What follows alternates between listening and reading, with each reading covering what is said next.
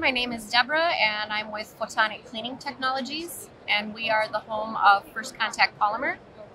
And First Contact Polymer is a blend of solvents and a blend of thinners. And the way it works is as a one-step cleaning and protecting process.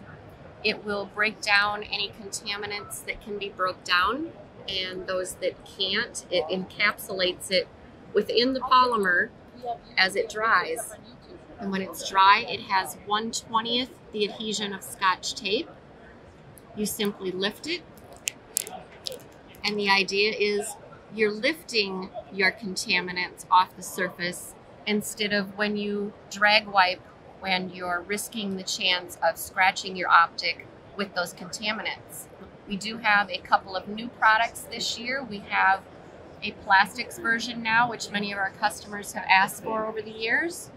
And we have a new diamond turned copper version, which is used for any type of diamond turned metal optics.